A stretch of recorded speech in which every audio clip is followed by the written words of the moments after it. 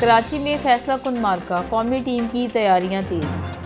शहर कैद में फैसला कन टेस्ट मैच के लिए पाकिस्तान और श्रीलंका की टीमों ने तैयारियाँ तेज कर दी। तफसीत के मुताबिक दोनों टीमों ने कराची में डेरे जमा लिए। नेशनल स्टेडियम कराची में फाइनल मैच से पहले भरपूर प्रैक्टिस की। पाकिस्तानी फास्ट बॉलर उस्मान शनवारी बुखार और Sri Lankan fast bowler Kasun injury के बाद कराची टेस्ट से बाहर हो गए हैं। नेशनल स्टेडियम कराची में पाकिस्तान और श्रीलंका की टीमों ने पहले प्रैक्टिस सेशन में खूब लहू गरमाया। कौमी टीम ने फिटनेस पर खसूसी तवज्जो दी।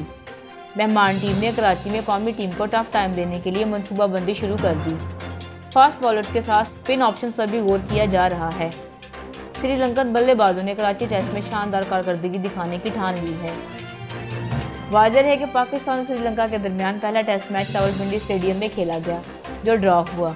पहले टेस्ट मैच के पाँचवें रोज मेहमान टीम ने छह विकेटों पर 308 रन बनाकर अपनी पहली इनिंग डिक्लेयर कर दी।